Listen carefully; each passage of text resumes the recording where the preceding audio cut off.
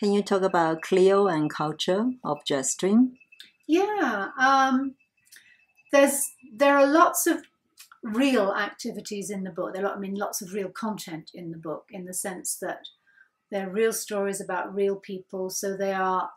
You know, there's lots of information. There's lots of information about places and things and processes, increasingly through the levels.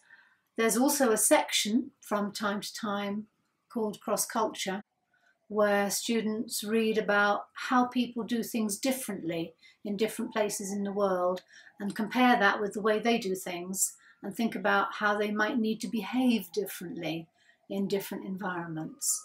So there's a very, very nice cross cultural element, cross cultural training, which is there as well. Introduce this. What we have at elementary level are various activities and topics where students get more insights into how they function, how they behave. So there's stuff about Chinese signs, about how introvert or extrovert they are, all kinds of quizzy type material to help them just get more knowledge about how they how they process, how they are in the world. And then at pre-int level, we've we've gone more practical. So there are a range of activities among all the other real stuff in the book, um, which are to do with practical advice.